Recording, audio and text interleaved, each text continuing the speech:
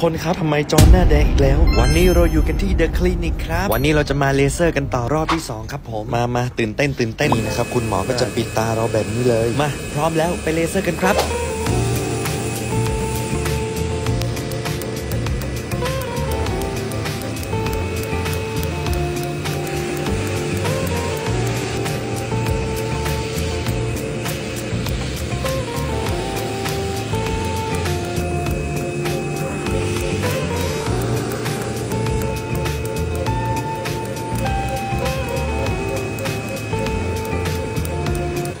ทำเสร็จแล้วครับ หลังจากทำเสร็จเนี่ยหน้าเราก็จะแดงแบบนี้เลยครับ แต่ไม่ต้องห่วงนะครับ ภายใน 4-5 วันหน้าเราจะกลับมาหายเป็นปกติครับหลังจากทำเสร็จนะครับเขาก็จะเอาน้ำแข็งมา ประคบเย็นให้หน้าเราแบบนี้เลยครับจะช่วยลดความร้อนจากการทำเลเซอร์เมื่อสักครู่นะครับหลังจากผ่านไปประมาณ 5 วันนะครับหน้าก็หายแดงแล้วบอกเลยว่ารอบนี้เห็นผลสุดๆใครอยากมาเลเซอร์แบบนี้นะครับมากันได้เลยที่เดอะคลินิกครับผม